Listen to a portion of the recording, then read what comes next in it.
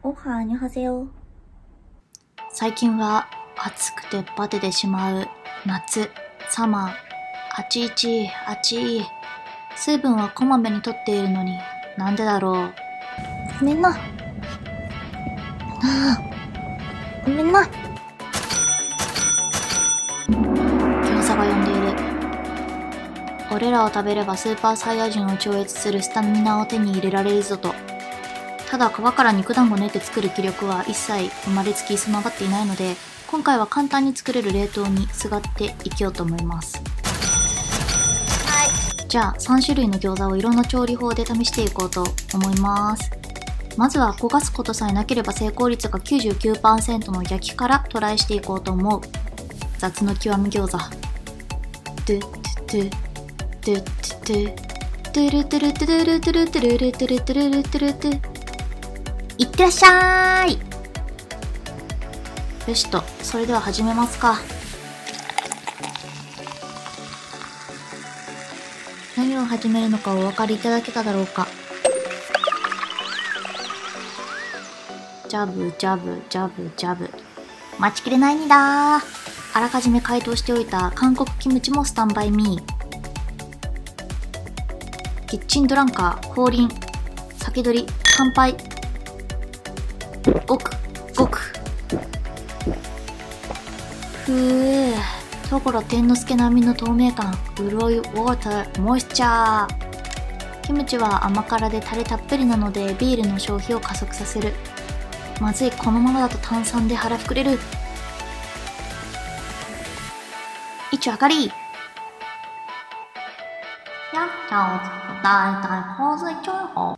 続けて蒸し餃子を作ります。スチームチャーズ、グッバイキムチを食べる ASMR 風。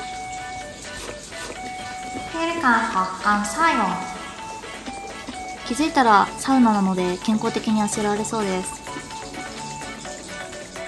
至福の時間にまどろみそうだが、いけない餃子を焼いてるんだった。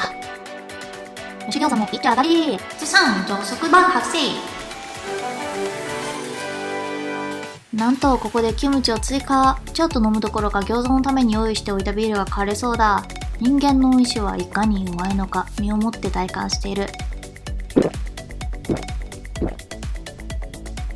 ラストスパート。揚げ餃子。水餃子たちは輪になって踊っている。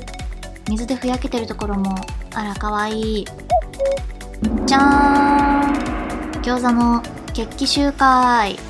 もちろん私の免疫力を高めてもらうための回だ。カムサハムニダ、サライヘヨ。パン餃子、キムチ。キムチと餃子一緒に楽しむ新感覚サラムレード。いただきます。ガブ。マシソよーま、焼き上げ加減はもう結構カリカリでかなり上手に焼けました。環境三肉あん野菜ほうれん草おうどんおじさまただいこの大きさボリューミー人いい感じに表面のカリカリを再現することができたので今日から私は三つ星シェフですね。美味しい！うーん。新しい景色が見えた。餃子肉あんベジタブルヘルシーサイズで食べやすいそのまま食べてもすぐに持ち込んでも何にしても許されそう。いつもと同じ餃子、まあ、カテゴリーは一緒だけど全く違った世界が広がっている。特にキムチ入りの餃子はね、結構辛さがあったり、肉野菜の餃子の中には、春雨さんや豆腐さんとかたくさんのね、野菜さんたちがいっぱい。港区 OL さんの丁寧な食生活が詰まったかのような餃子で、もう食べても食べてもヘルシーなので、ほっとする。カリカリに揚げた餃子もビール片手に食べていく揚げ物はやはり即座にアルコールでカロリーを流しっこらぽっくるしないといけないからね。旨味が口の中で爆発した。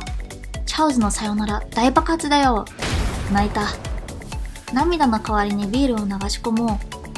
大洪水や栄養バランス考えてビタミン C も摂取。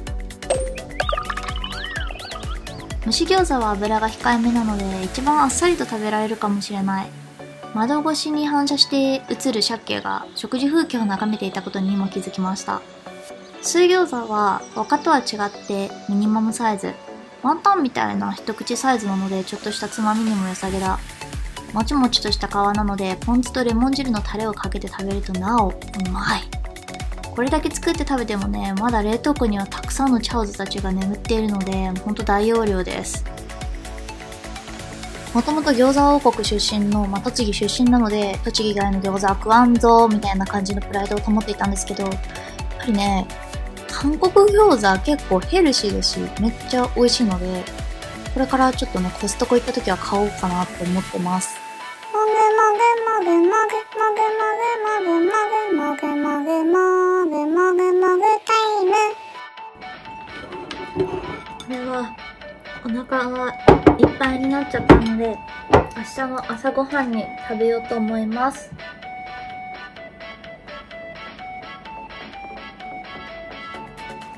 はあ。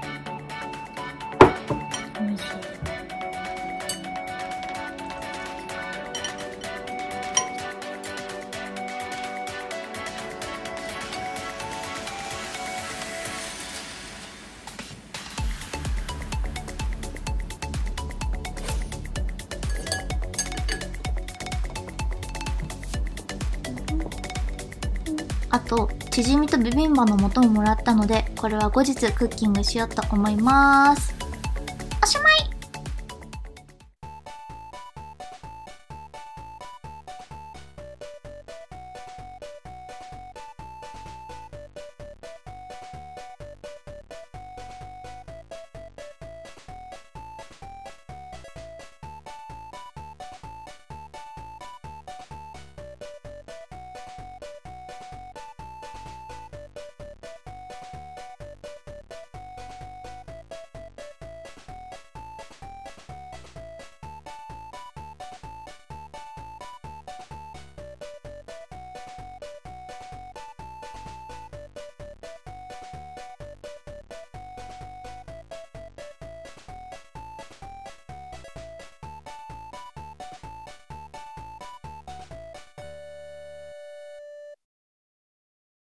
本日もご視聴ありがとうございました。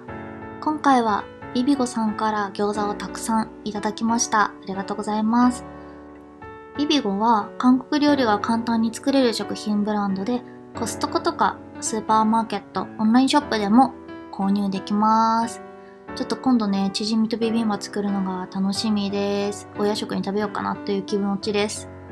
カムスハムニダの舞って感じです。ほんじゃ、バイバイ。